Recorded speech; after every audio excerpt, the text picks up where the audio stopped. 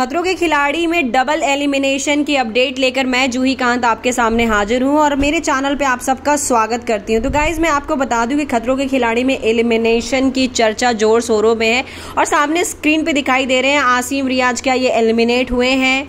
Guys मैं आपको बता दूँ कि आसिम रियाज तो एलिमिनेट नहीं हुए हैं, पर जो ज़बरदस्त खबर ये है कि खतरों के खिलाड़ी सीज़न की पहली कंटेस्टेंट जो एलिमिनेट हुई है, वो है शिल्पा शिंदे। शिल्पा शिंदे का सफ़र खतरों के खिलाड़ी खिलाड़ी सीज़न चौदह से ख़त्म हो चुका है और वो एलिमिनेट हो गई है और वो पहली कंटेस्टेंट है जो कि खतरों के खिलाड़ी सीजन्स में एलिमिनेशन पे आई है। वैसे मेरे को ये जान के जड़ा सा भी आश्चर्य नहीं हो रहा है क्योंकि एलिमिनेशन का, क्योंकि मुझे लगता है कि स्टंट बेस्ड रियलिटी शो है और वो कर पाएँगी, यानी कि मुझे शुरुआत से ही डाउट था। तो कुछ कहना चाहोगे कोई शिल्पा सिंधे के जो फैंस है, कुछ कहना चाहोगे?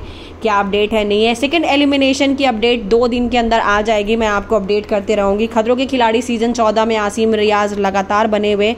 कोई एलिमिनेशन नहीं है। एक शूट हुई है, वो आपको